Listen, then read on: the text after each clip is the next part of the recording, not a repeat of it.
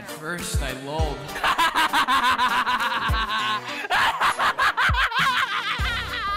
but then I serious.